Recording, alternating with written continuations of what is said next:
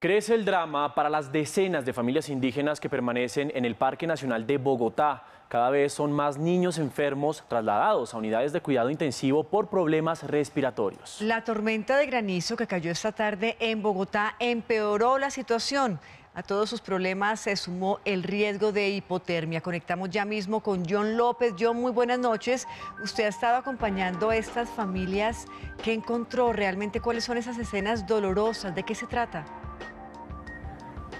Hola Patricia, muy buenas noches. Pues el balance que podemos hacer de la tormenta del granizo que cayó hoy sobre la ciudad de Bogotá se centra aquí, como usted lo dijo, en el Parque Nacional, donde son 500 niños los que están enfrentando el frío y el riesgo de una hipotermia, como ustedes lo manifestaban hace unos segundos. El granizo destruyó decenas de carpas, los plásticos que las cubren completamente rotos y a eso hay que sumarle que las carpas terminaron completamente inundadas por la lluvia y por ende se mojaron adentro todas sus pertenencias, cobijas, ropa y enseres. Esta es la familia de Fermín. Él llegó aquí desde Pueblo Rico en Risaralda. Él pertenece a la comunidad en Veracatío. Ellos duermen en esta carpa. Hemos pedido la autorización previa a Fermín para poder mostrarles a ustedes el interior de su carpa y para que ustedes puedan hacerse una ilustración de cómo van a tener que pasar la noche estas 10 personas que viven en esta carpa, entre ellos 5 menores de edad, todos menores de 5 años. Por este lado podemos ver las cobijas y la ropa, todo esto está completamente mojado, empapado. Imposible poder arroparse o abrigarse con una cobija de estas. Por eso Fermín tuvo que abrir esta zanja. No sé si, si alcancen ustedes a notar Fermín abrió esta zanja alrededor de la carpa porque esto se encontraba completamente inundado y fue la única forma de que el agua pudiera correr y salir de su carpa. Pero lo más preocupante y triste es que estas personas van a tener que pasar la noche sobre el pasto mojado. Esto está completamente mojado. Así van a tener que dormir ellos y sus cinco niños menores de cinco años porque el agua les mojó todas sus pertenencias, los plásticos destruidos y las cobijas completamente mojadas. Esto es bastante preocupante, lo que se está viviendo aquí en el Parque Nacional de Bogotá. Además, porque los niños continúan enfermándose de temas respiratorios, muchos de ellos con cuadros de bronquitis. Hoy, uno de ellos tuvo que ser trasladado a una unidad de cuidados intensivos. Ya son cinco los niños en Vera que se encuentran en unidades de cuidados intensivos por esta situación. Veamos. Las comunidades indígenas del Parque Nacional poco o nada pudieron hacer para resguardarse de la granizada de hoy en Bogotá. Los niños fueron los más afectados. Este pequeño, en una carpa, tiembla por el frío tras la tormenta. Sus padres intentaron abrigarlo, pero las cobijas estaban mojadas. Tras recibir la autorización de los adultos responsables, quisimos saber lo que dicen los niños en este improvisado campamento.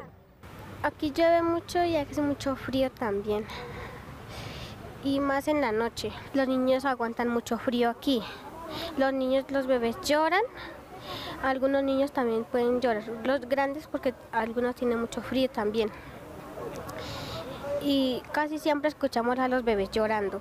Para que no nos dé tanto frío tampoco porque llueve mucho y a veces se nos viene el agua a la carpa, se nos entra pues algunas veces nos agrupamos todos para que no nos dé tanto frío. A cientos de kilómetros de su casa, Tatiana nos contó qué es lo que más extraña. Pues dormir en la cama porque allí ya es calientico, en cambio aquí hace mucho frío. Y cuando llueve, pues en la casa uno no siente nada, normal, pero cuando uno está aquí no aguanta mucho frío.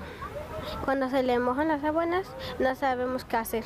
Para las madres de los 500 niños que viven en el parque, la granizada de hoy fue una de las situaciones más difíciles que han enfrentado. Fue estresante ver al, bueno, a la familia, a las mamás correr con los niños y pues acá se nos inundó el agua, se nos pasó, se nos, más que todo se nos mojó las cobijas ahorita porque lo teníamos en el piso. Pues es horrible, sí, dormir cada noche acá aguantar frío. Las condiciones en las que están viviendo es una tragedia para cada familia. A uno estresa mucho ver a los niños sufrir de frío, llorar. Los niños se siguen enfermando. Hoy tuvo que ser internado en UCI otro de ellos. Porque los niños le están saliendo granos y algunos tienen diarrea, porque acá no prácticamente no alimentamos bien. Les urge ropa, cobijas y colchonetas para intentar resguardarse del frío bogotano al respecto de la situación que eh, se está viviendo aquí en el Parque Nacional, la personera delegada para las víctimas del conflicto solicitó la atención urgente por parte del distrito en materia de brigada de salud, pero también solicitó eh, el permiso por parte de las familias en veras, las familias indígenas, para que permitan que sus hijos sean atendidos de la forma correcta. Es muy importante también que los padres, las madres indígenas adquieran una responsabilidad de suministrar información, de facilitar la atención de los niños y las niñas.